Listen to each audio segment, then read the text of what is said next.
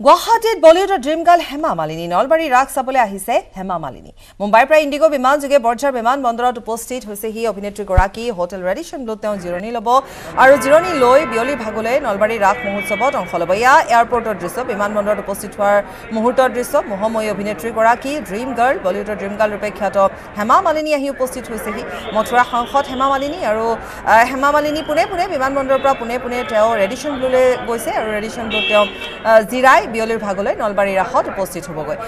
ইতিমধ্যে আমি কৈছোঁৱেই যে মুখ্যমন্ত্ৰীগৰাকীয়েও সংগ দিব সাংসদগৰাকীক আৰু এয়া বিমানবন্দৰত উপস্থিত হোৱাৰ সময়ছোৱাতে যথেষ্ট সংখ্যক লোকে তেওঁক আদৰি লৈ যায় আৰু তাৰ পিছত ৰাস মহোৎসৱত তেওঁক ৰঙা ভিণ্টেজ কাৰেৰে আদৰা হ'ব।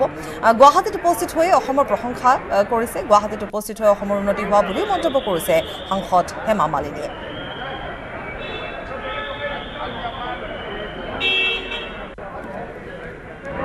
मैं पहले भी बहुत बार आई हूँ अभी बहुत ही अच्छा लग रहा है और बहुत ज़्यादा इम्प्रूवमेंट हुआ है। और मैं यहाँ का रास फेस्टिवल जो हो रहा है पिछले बारह दिन का कुछ फेस्टिवल आ, उसमें शामिल होने के लिए आई हूँ। हमारे सीएम या शाम के उन्होंने इनविटेशन दिया है हम आए हैं यहाँ। असम में माँ कामाख्या टेंपल में जाएँगे कोई? अभी देखेंगे आज एक ही दिन हूँ मैं यहाँ। अब मैं वैसे बहुत बार गई हूँ कामाख्या टेंपल जाने की बहुत मन भी है। अभी देखते हैं कैसा अरेंज होगा। इनवाइट किया है हमारे सीएम ने और मैं इसके लिए यहाँ पर आई हूँ। और मैं- मैं बहुत एक्सपेक्ट कर रही हूँ कि बहुत सुंदर प्रोग्राम कार्यक्रम हो रहा है। उसमें मैं भी शामिल होकर देखने के लिए आई हूँ।